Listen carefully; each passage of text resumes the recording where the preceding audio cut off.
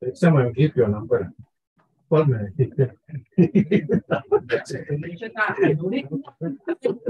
the College of Physicians know that their mic is on?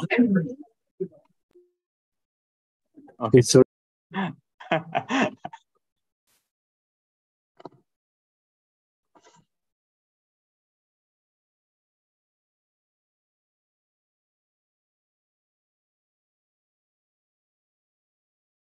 So I won't be able to see them, right? I will just stop. Mm, correct.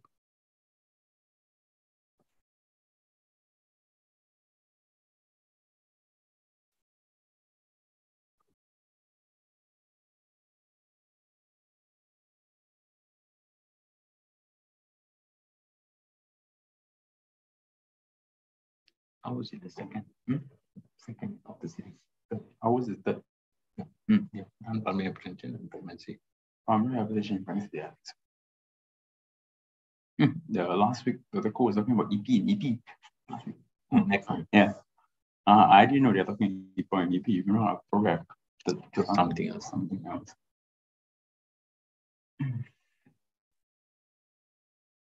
The second half seems to be very much EP based.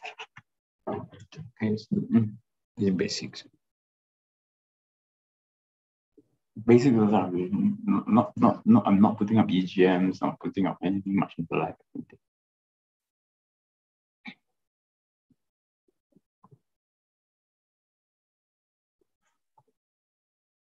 Uh, Dr. Hui Lim, uh, can, can start now? Okay. Oh.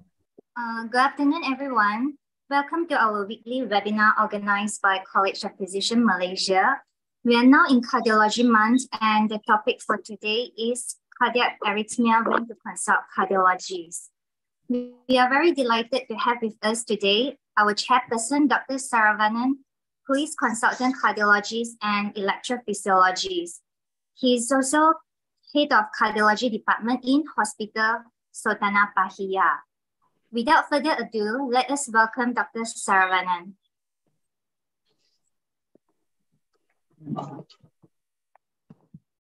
Hi, good afternoon, everyone. And uh, I am Dr. Saravanan here.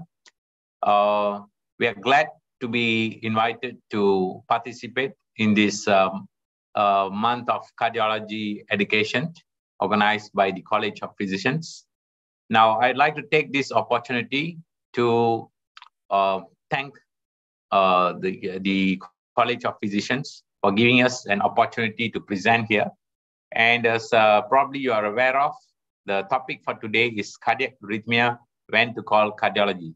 I sincerely hope that this will be uh, a platform for us to educate ourselves and to improve our knowledge and uh, uh, learn as much as possible to understand uh, about not only the clinical scenarios, but uh, interpreting the ECGs according to the clinical scenario and to refer to the cardiology when it is appropriate.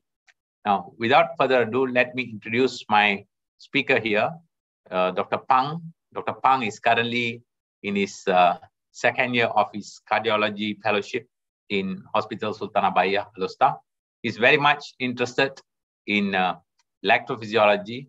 And uh, when we talk about rhythm, he gets very excited. So uh, I think he's uh, probably the best person for uh, to speak on this topic today. Let me uh, hand it over to Dr. Pang. Thank you, Dr. Sarah, for the kind introduction. Once again, we would like to thank uh, Academy of Physicians for giving us the, the, opportunity to be part of this wonderful program. So I will start with the itinerary right away. So I have no disclosure for this presentation. So um, when facing with uh, cardiac arrhythmias, regardless, I think cardiology will be the final managing team. And we are very nice people actually. You can just feel free to refer to us, but the timing on when to refer and as well as the initial uh, immediate management and stabilization is important because uh, unfortunately in our country, uh, cardiology service is only available in only the main hospitals. So in many, even tertiary hospital and district hospitals, cardiology service are not available, and hence uh, the roles of physicians uh, is very much crucial as either uh, internal medicine uh, acute medicine or even emergency physicians. And in some certain places whereby medical officers will play a role. So I, I hope this presentation will help uh, in risk stratifying as well as immediate management of the patients. So let's go on uh, directly. My outlines will be there's a few first few cases are more catering for most of the basic ECGs, must knows, and I will not uh I will not use too much time on it. And there will be a few case discussion if we have times, and those are the more complicated cases that we have. So let's say it's a common case that is being referred to us. Uh, 30, 30 years old maternal lady, Gravida 3, Para 2, at 38 weeks, refer for pre-op assessments or maternal tachycardia. So, uh, and presented to us, and this is the ECG that is being seen. So what would you do if you have this ECG? So just take a simple poll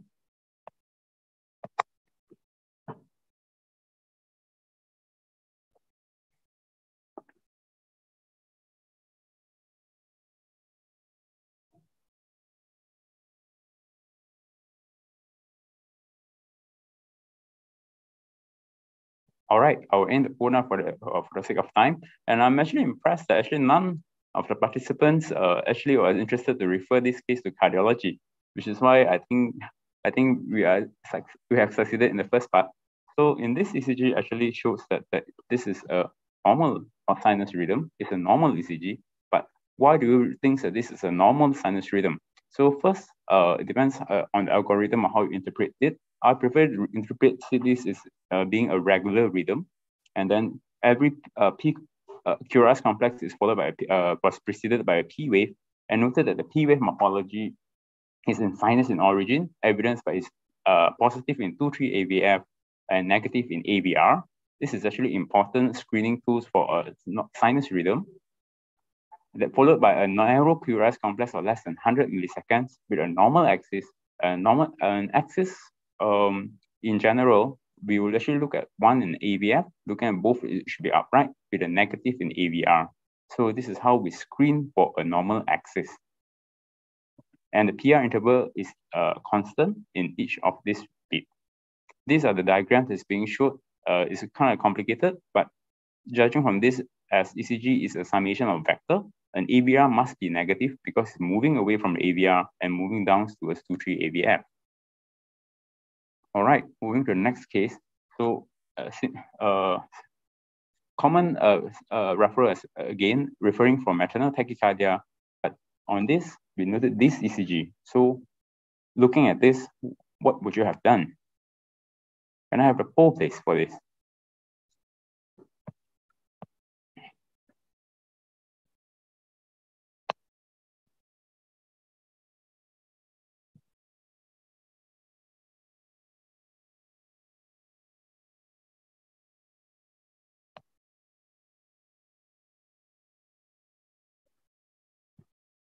All right, very good.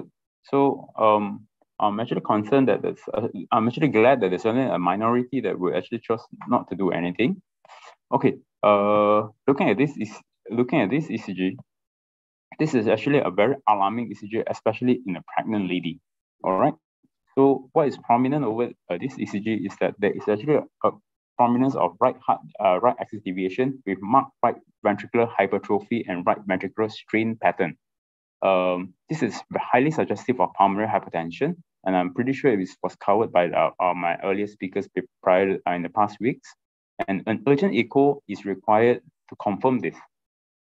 In if your institution is unable to do or perform an urgent echocardiography, please refer to us immediately because this is an emergency. As uh, most patients have this has some congenital shunt disease that was probably asymptomatic until they are pregnant. And if they presented late in severe hypertension, we might lose the patient.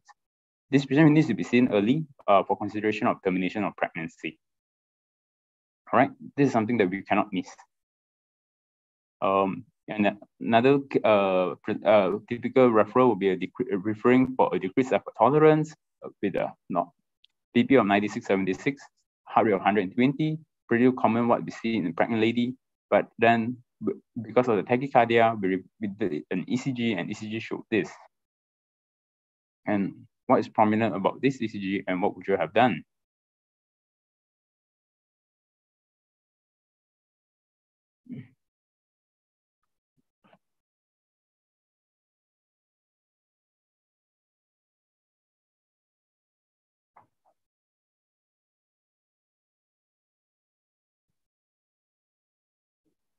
Great. All right, I'll in the poll for the sake of uh in, in the interest of time. So what is prominent about this ECG is that this is the notorious S1QT decrease as we've seen in pregnancy. And in this situation, a right heart strain is also is also seen. So in, in this situation, an echo, sorry, in this situation, an echocardiography is important for a prognostication, but it is not, an echocardiogram is not a substitute for a CTPA to diagnose uh, to diagnose uh, pulmonary embolism. As well, uh, by even though if there's ECG changes of right heart strain, if they can't pick it up on right uh, right ventricle, and in certain situation whereby it's an acute uh, pulmonary embolism, uh, right heart strain or a right heart uh, failure used uh, via echography could be operator dependent because some uh, in certain in a gravid uterus it might obscure the view of a right ventricle. So in this patient, if you picked it up, please arrange for an urgent CTPA. And moving on to the next case, a 18 years old gentleman presented with a health screening for a national hockey team. Clinically, he's actually asymptomatic because by his interview as is coming from a, a competitive sports, did routine ECG, and what would you do if you see this?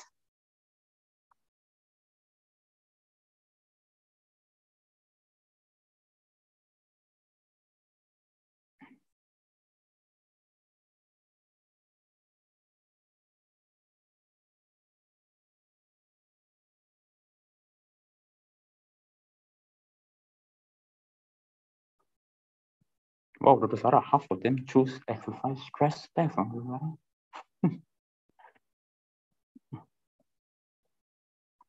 More than 50%. Yeah. Okay.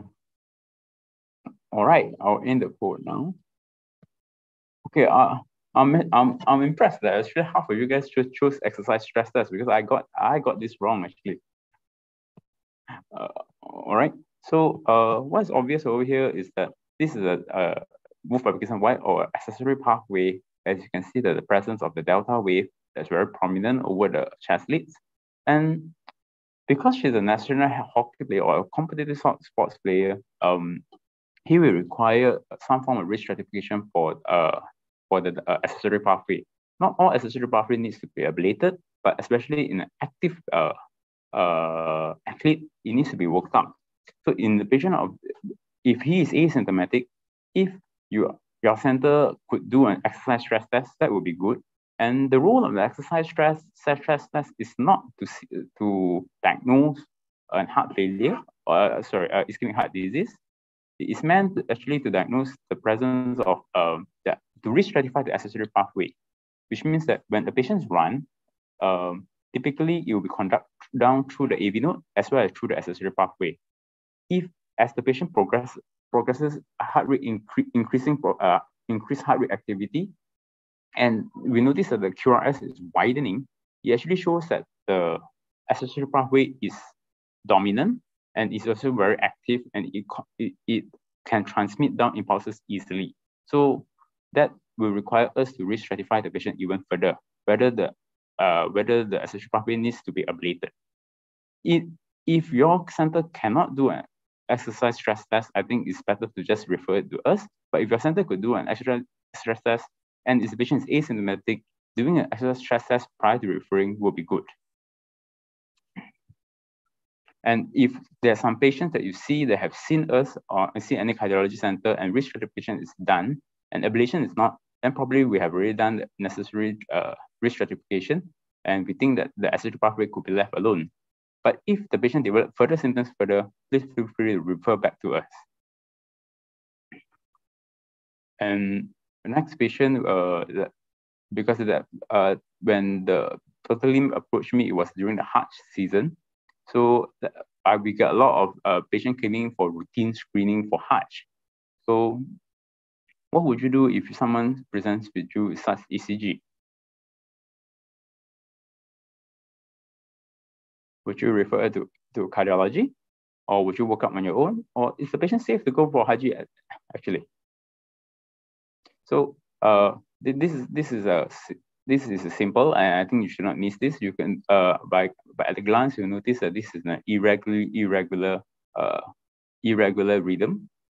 So by definition, if it's irregular, irregular, uh, 90% or 95% is atrial fibrillation until proven otherwise. And in this patient, it is atrial fibrillation. So the we can notice the irregular R interval and treatment of AF will not be covered here, but it needs to be treated in a holistic manner by the ABC uh, approach as suggested by the ESC, ESC team. So first will be anticoagulation, symptoms control, and cardiovascular and uh, risk factor management. So when you refer cardiology for, for uh, atrial fibrillation, because A, anticoagulation is something that you can do, starting NOAC, starting VKA, unless the patient un is unable to tolerate NOAC or uh, VKA, yes, please refer to us because we could do an advanced therapy such as uh, uh, LAA occluder. Symptoms control, if it has failed uh, first line medical treatment, yes, then probably the patient will benefit from uh, AF ablation. And if the patient is high risk, for example, uh, high risk, for example, in heart failure, please refer to us because AF ablation uh, will actually benefit the patient. Uh, based on the current guideline, actually restoring sinus rhythm is a priority and has been associated with better outcome. But then we do very specify patient on which patient we uh, choose to ablate due to the time and cost that's involved in our country. Also, um, management of comorbidity and cardiovascular risk factors can be done from your side, actually. Uh, obesity, uh, education, reduction of alcohol, management of uh, uh, obstructive sleep apnea. All right. Okay, this is an interesting case that we had actually uh, last year. Uh, 24 years old, similarly referred for palpitation, but this was the ECG shown in, in the patient. So what would you do, do when you see this ECG? She's young, she's only 24 years old.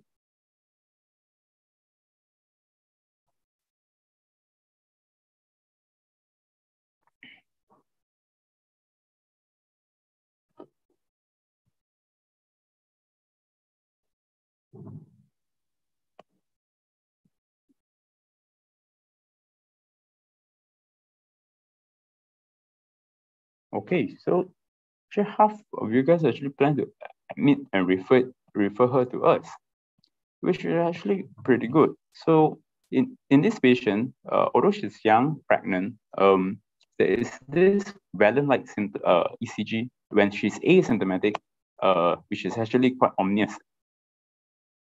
Although uh, cardiovascular risk uh, as, or obstructive vascular effect on in pregnant lady is actually uncommon. But this patient, further history actually noted that this patient has a strong family history of ischemic heart disease. With the brother and sister, both uh, have history of uh, myocardial infarction and require stenting at a very young age. We proceeded with stress test actually uh, during pregnancy, which turned out to be positive. And we unfortunately proceeded with a CT angiogram as the patient refused uh, coronary angiogram. So just uh, showing a normal angiogram for those that's actually uh, not familiar how a normal angiogram looks like. So on the on the left on the left hand side, I'm not sure whether you can see my pointer. That is the left system. On the right side, that's the right system. All right. And this is the angiogram for this lady. We show a significant three-vessel disease at the age of 24 years old. So looking at this, we actually decided that uh, termination of pregnancy is safer for, for her because if she progresses, uh, as the pregnancy progresses, uh, uh, requiring increasing cardiac output, that could be more, more dangerous for her. So in certain situations, yes, this patient will require an urgent intervention by us. All right, moving on the next patient. Okay, this is a common cases that we actually encounter as well. That 70 years old, especially a retired police officer or fire officer with underlying hypertension, dyslipidemia, referred for us for ECG changes, but clinically he is well. So this is the ECG that is presented, that he came with and presented. Uh, I think the poll is for a different question, but I'm not sure why someone under, answered adenosine. So I will close this poll. So look at the ECG and what do you see? So I think most glaring, uh, what should be glaring actually is that there is this uh, ST elevation over the V1 to V3 with a reciprocal changes over the V1 to V3 with actually uh, V5 to V6. So some argue that this might be an uh, ischemic event or which is fair, but I think if you, if you look at it uh, in more detail, you'll notice that uh, actually the, the Q wave and the well as R wave on the V5 and V6 is actually very prominent. And this is common what we saw, we see is in left ventricular hypertrophy. All right. So, um, and this patient can tends to come uh, presents to a, to a hospital for recurrent uh, angina, probably due to the muscle hypertrophy. And if normally they will have a normal coronaries, but the angina will persist due to a mismatch between the myocardial perfusion. So in this patient, um, if they have a coronary access once, I think it's safe to say that no, this is not unstable angina. Do not load them with uh, double antiplatelet every time they come in. They may require a further workup, for example, like septal alcohol ablation. Okay, so uh, be mindful when you pick this, this pick this up because number one, you could avoid unnecessary uh, antiplatelet anticoagulant, and the other thing is you need to work up for uh, left ventricular hypertrophy, look for hypertrophic obstructive cardiomyopathy to look for any presence of uh, systolic anterior motion or actually high LVOT gradient. So in, if your center does not have an echocardiogram, echocardiogram, please refer it out. But if your center has echocardiography, please make sure to look for all this and do not miss this patient as this patient does carry risk of uh, sudden cardiac death in, if they fulfill certain scoring system. And this patient actually requires tertiary care. So uh, if you do see a, a, a HOCM, if you do suspect that it's SAM, please refer to us. All right.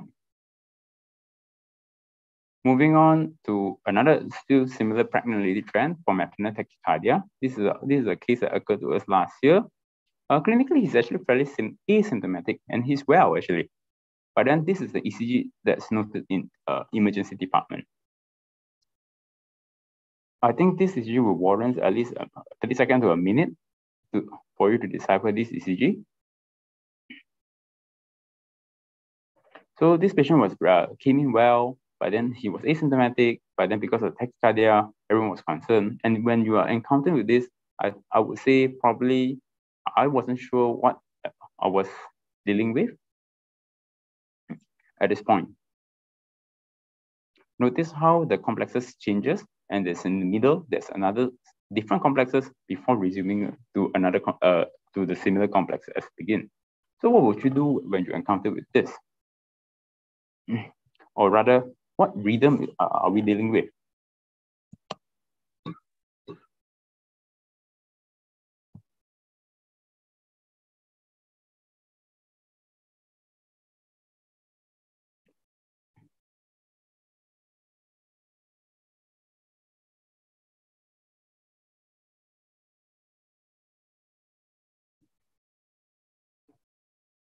All right, very good. So I'll close, close. The, so for those that's looking at this ECG, I think um, the diagnosis for this, if you if you diagnose this as SVT, I think that is that is actually partly true. Uh, I mean, that's not wrong. Giving adenosine in this situation is not wrong as well. But actually, this is a form of ventricular tachycardia. It's called fascicular uh, ventricular tachycardia, which we actually see is more frequent right now because I think it's being picked up and because there's increasing awareness these days. So as you can see, that normal looking beat is actually a captured beat. And notice that there's actually change of axis uh, during at this point, whereby the AVR is pointing upwards, as I pointed out earlier. So AVR must be always uh, downwards because it's upwards. It means that the ventricular depolarization is occurring below upwards. All right. So in this patient, um, according to the guideline, actually, uh, the current guidelines uh, actually mention that DC cardioversion is actually the first line if the patient is unstable. And if the patient is stable, if the patient is able to tolerate it, uh, although the patient is able to tolerate it, uh, with low anesthetic and sedation risk is low, uh, cardioversion is the way to go. Right? Uh, why am I saying this is because I just want to emphasize that cardioversion is safe uh, cardioversion is safe. It does not lead to death or does not lead asystole. The only thing that uh, about cardioversion is that it is painful.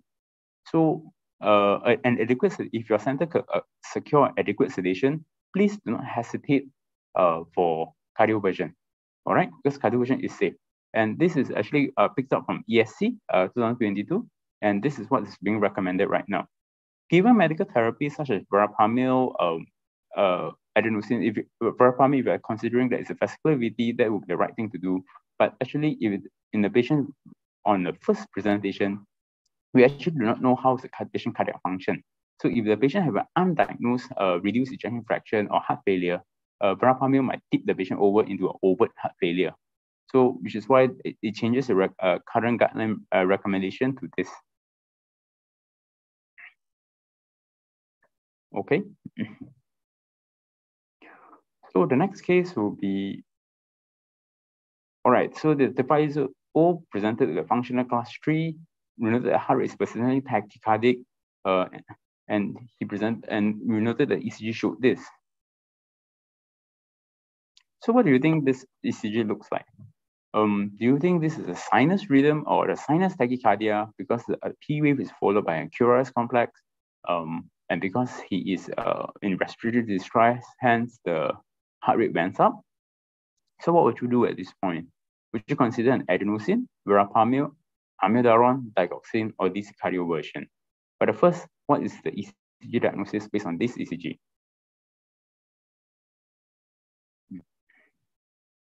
So I think this, this is actually quite tricky because it, it was actually diagnosed as a sinus tachycardia by, by my colleague, I mean by my team. I think it was picked up to my boss.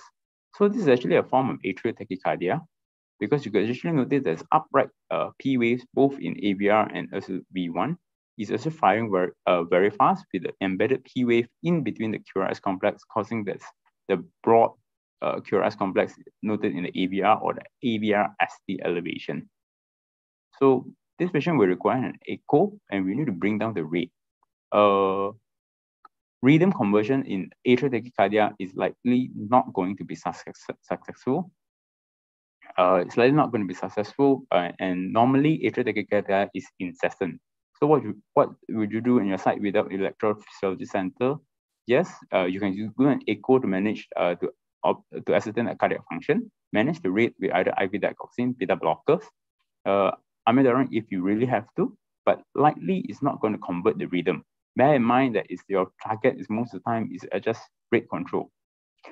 Offloading the patient, optimize heart failure medication, and then refer us for cardiac ablation. This patient will require a tertiary, uh, uh, uh, electrophysiology care because AT is slightly incessant to medication, and it, they progress to heart failure actually quite rapidly.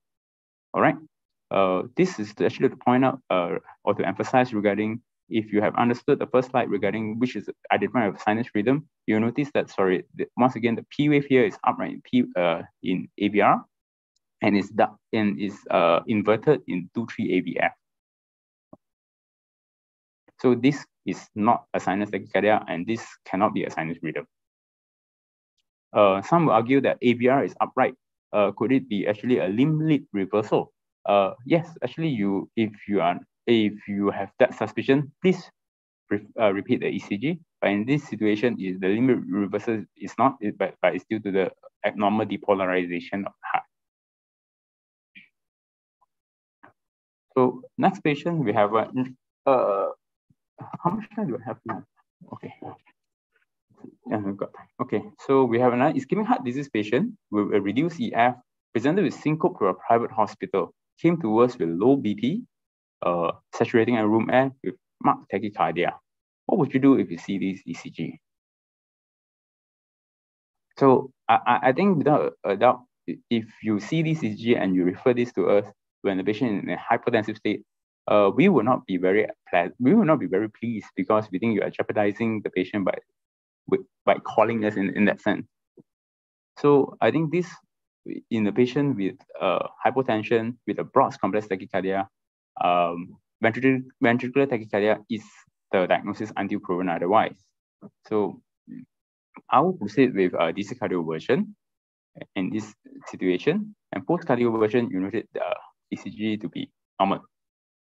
Unfortunately, the patient developed recurrent uh, ventricular tachycardia inborn. And if the uh, usual practice would be a uh, IV amiodarone, even in our center, uh, to maintain a sinus rhythm. But if the patient developed this uh, on amiodarone infusion, what would you do? So would you call us? Would you ascertain the electrolytes are normal? Would you stop the amiodarone? Would you uh, consider IV, uh, switching to IV lignocaine? So uh, this is to emphasize that as amiodarone is a very common drug to be used for arrhythmia, we actually you need to actually be very familiar with the mechanism of action. All right. So this is to uh, this is to highlight uh, the effect of uh, amiodarone on every changes of electrocardiogram. Uh, I actually took this from the internet, and actually amiodarone could work by slowing the sinus rate. It could prolong the PR interval and also the AV refractory period, and that's how it terminates the tachycardia. It can also cause a widening of QRS complexes because it slows down the conduction over the ventricular muscle by blocking the inactivated sodium channel. And it can also prolong the QT because of the delayed uh, potassium current channel. So bear in mind that these are all the effects of amiodarone. Excuse me, and this is something that you need to look for when you are using amiodarone. Uh, and as as I mentioned earlier, it's a very common drug, so please be familiarized with this. So if the patient develop a reaction to amiodarone, the, the treatment is unfortunately you have to stop the amiodarone. And if you have IV lignocaine, please consider IV lignocaine. If not, please refer the patient out. So let's say the patient in that round suddenly develop this arrhythmia over, over the cardiac monitor, what would you do at this point? I think I don't have the code for this, but would you defibrillate at 200 joule, sync cardiovert at 200 joule, lignocaine 50 milligram bolus. Insert transvenous pacing for override pacing, or would you consider uh, palliative care as the patient has poor EF and presented with another recurrent arrhythmia, refractory to medical therapy, or just give us a call.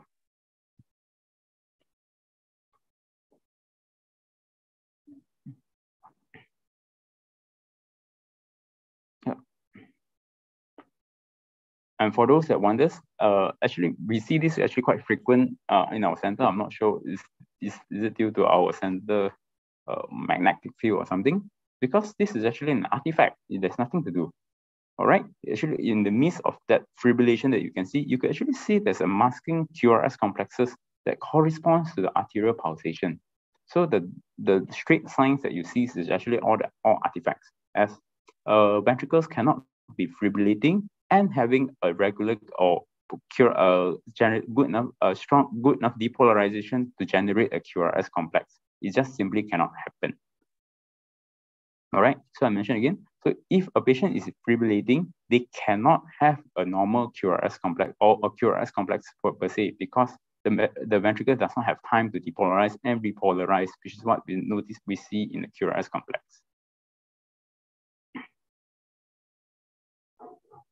Okay, so uh, moving on. Um, so this is a patient, uh, 78 years old. I'm sorry I'm going a bit too fast, but uh, Dr. Lim, do I have any questions or any burning questions that I have in the question Q&A box, or should I answer it at the end of my presentation? Uh, so far, there's no question in Q&A box. Okay, all right, that's good then. All right, I'm moving on. This is 78 years old, presented with acute shortness of breath with a history of aortic valve replacement. So on presentation, she's tachycardic and in, uh, in acute heart failure. This is the ECG that's being seen uh, on presentation. So looking at this, what do you think it is? So as I mentioned earlier, so if, if a patient presented with uh, acute decompensation, uh, ventricular tachycardia will be high on the list. So if you proceed to treat this as ventricular tachycardia, uh, I think it is reasonable, all right? It's reasonable.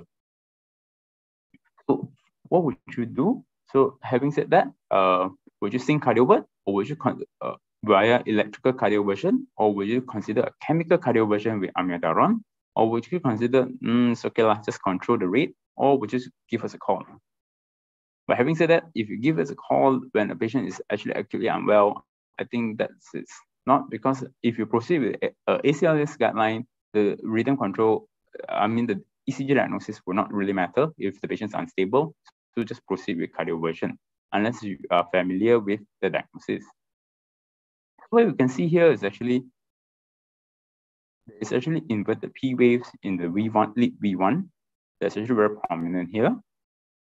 The QRS complexes is white, measured about, about 200 millisecond.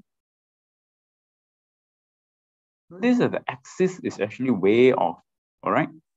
Axis is actually, it, it's towards, once again, I mentioned, is towards upwards, right upwards. So uh, making ventricular a likely diagnosis. The R interval is about uh, 240 milliseconds with a heartbeat of about 225 beats per minute. So in summary, this is a regular inverted P waves white QRS complex with extreme axis deviation with a rate of 225. So there's, you, if for those that's more advanced, there's actually something we call as RS interval to look at how is the slurring or upslope of the RS complexes to actually see the speed of the ventricular depolarization. The RS is at 40 millisecond, and there's actually no AV dissociation. So, and if you notice attention to this, this is actually a typical right bundle uh, branch with a tall right rabbit ear.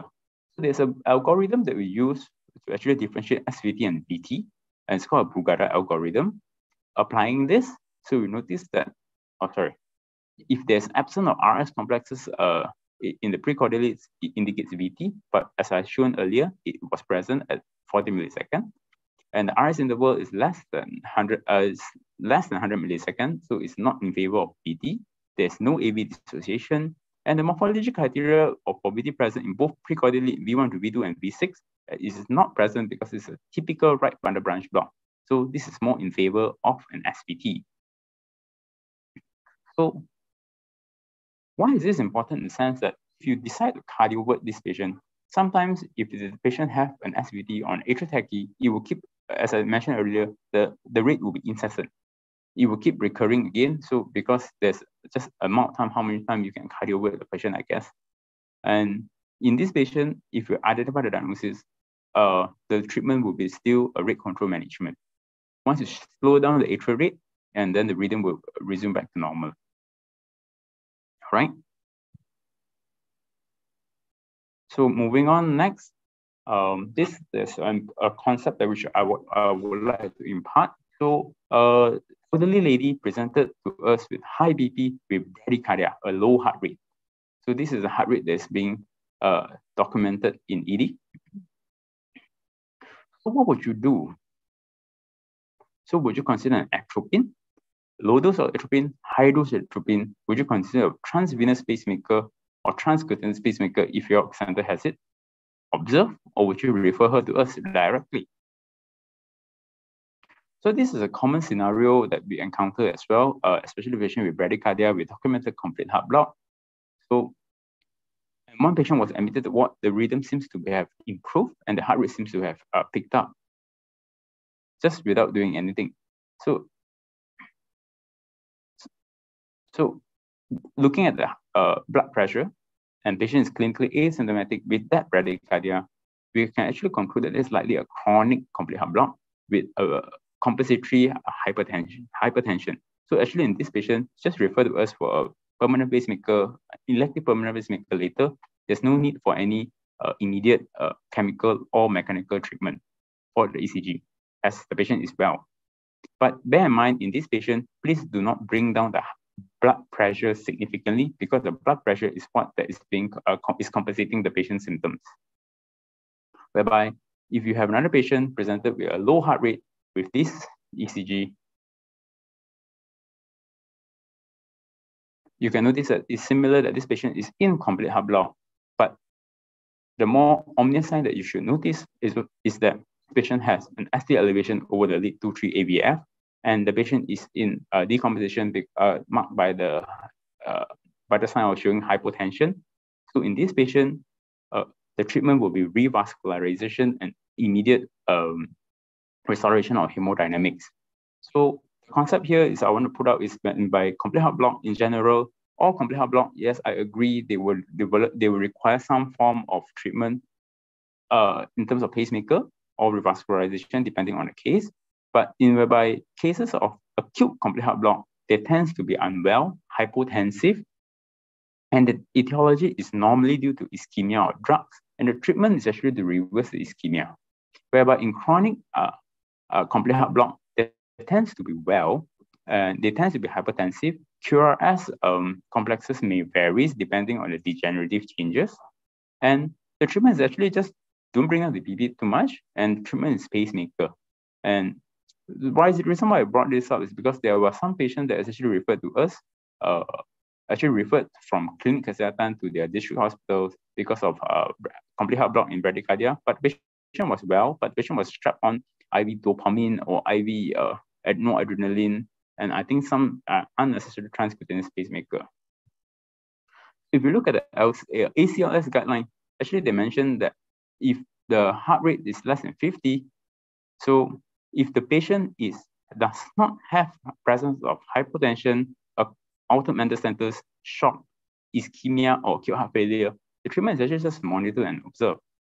Uh, but if the patient does have for that, you can consider atropine, or if it's ineffective, do consider other treatment or uh, referring to a cardiology team.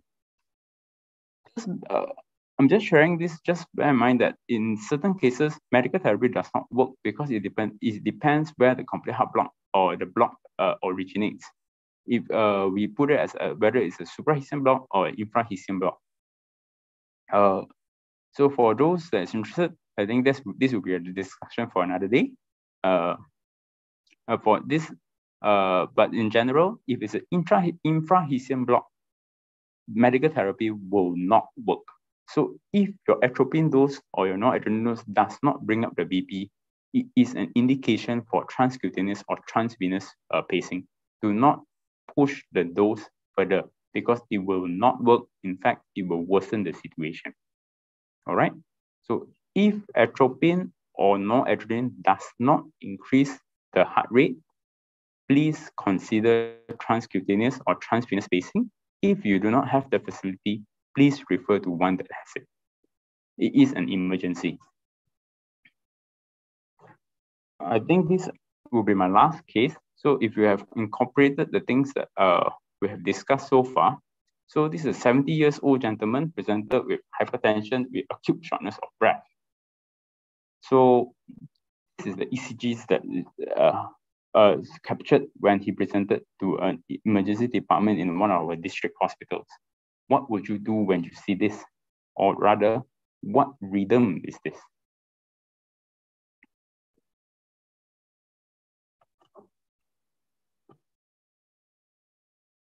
Okay, so what the hospital did was they thought this is was a irregular irregular complexes. It looks like a fast atrial fibrillation. It fits with the patient profile because he's a, he's a COPD patient. COPD patients are prone uh, to atrial fibrillation.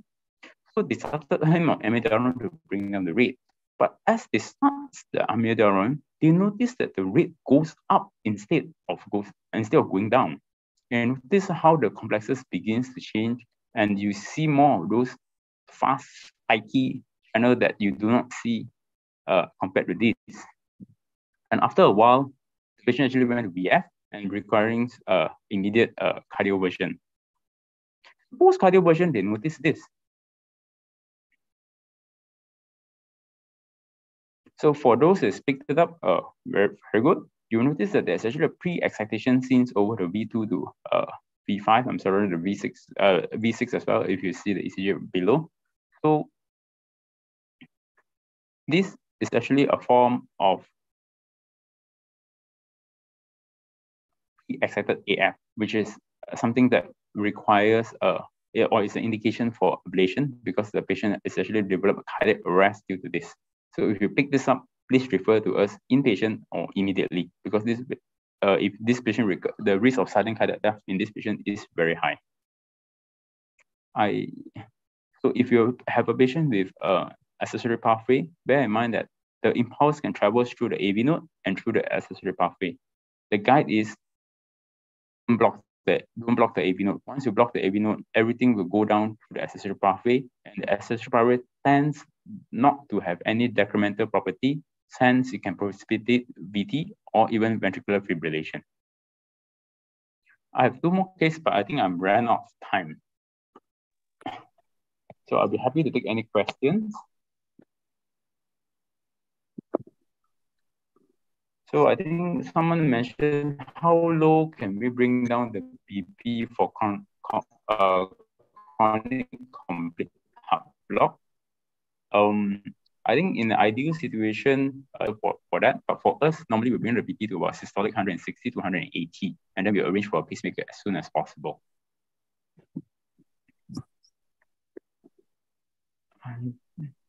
One question is uh, I think revise the to revise the thing to is constant. Looks like second degree two to one AV block. Yes, yes, I agree. It is possible. Uh, two to one AV block uh, precipitated by an AV node uh, pathology due to the inferior MI uh, inferior MI uh, leading to AV node uh, ischemia. Yes, Brandon, I actually agree with you with that.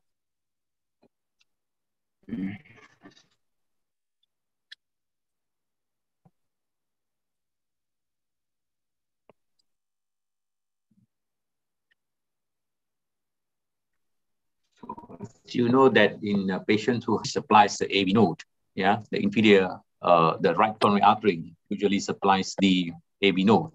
You tend to have sort of like a complete or uh,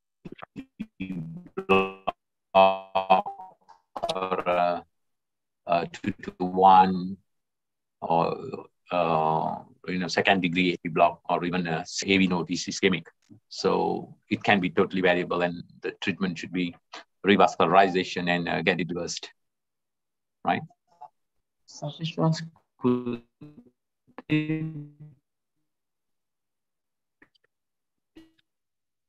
it met for the last case. Uh, we think that it's pre-excited AF met. I I don't think. See, multifocal atrial tachycardia is not a, not a very common diagnosis that we make, and it is usually uh, you know you have got a background uh, patient where got uh, history of uh, COPD, whereby the atrias are very multiple sites. You can see that there is a in uh, broad QRS, and also somewhere in between you get a bit of both. And uh, you see clearly in some of the bits you can trace it out or track it. Uh, there is definitely a short PR interval, which is uh, not physiological and slurring, and you can spot out the delta wave. So it's more in keeping with pre-excited atrial fibrillation. Gosh, I'm scared. Now I'm going to.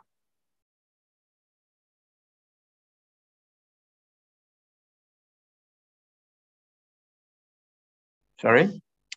So if that, we would like to take this uh, opportunity to uh,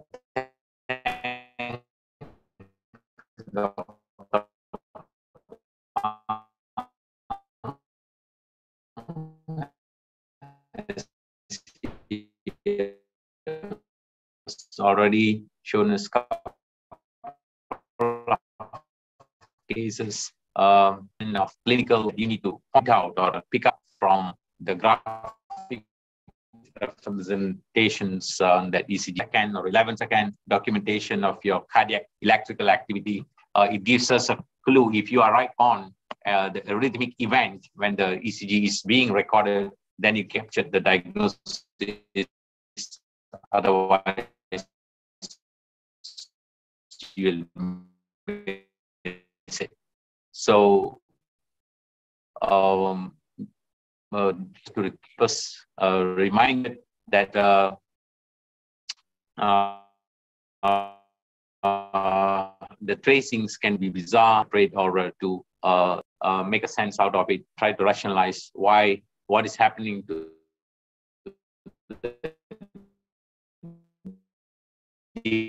different waveforms reflected on the ECG at that point of moment, uh, right? So I think uh, with that, we probably will close this uh, uh, uh, education. Else you will leave it back to us. We will continue talking this until tomorrow morning. right, Natalie? Is there anything?